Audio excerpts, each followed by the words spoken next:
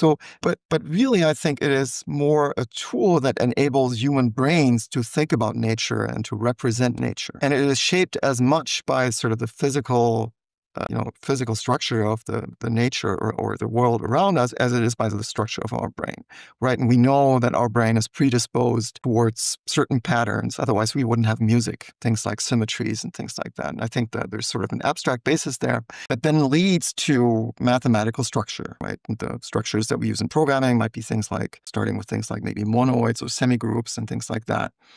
Now, so a semi, I mean, why, why would a semi group, like an abstract algebraic concept, be helpful in structuring software that is about the real world?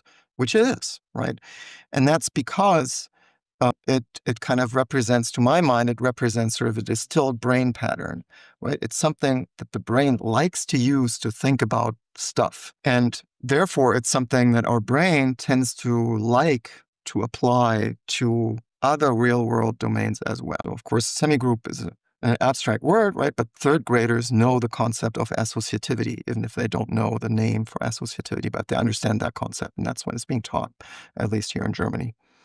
So, uh, so, so the things that tend to be useful in programming from mathematics, things like some algebraic concepts, right? They are, in my mind, they're primarily brain patterns.